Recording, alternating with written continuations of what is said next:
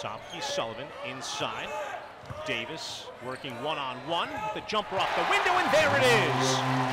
Wojcik nearly jarred it away from Davis again. Davis controls, finds Deloney down low, foul, and the bucket. Great. Fiorillo now for Gibson into the corner, Deloney.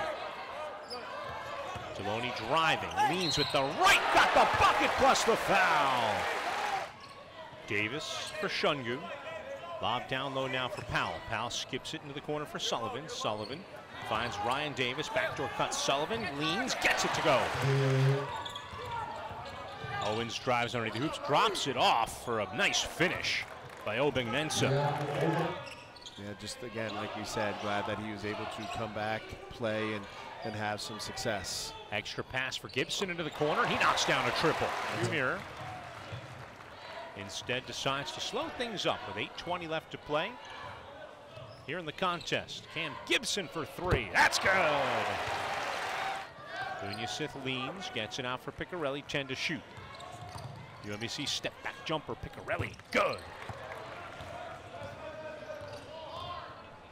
Deloney bounces it for, De for Lefebvre, and Lefebvre finishes at the rim. Nice. Final horn will sound, and the Catamounts will win this one by a final of 86 to 59.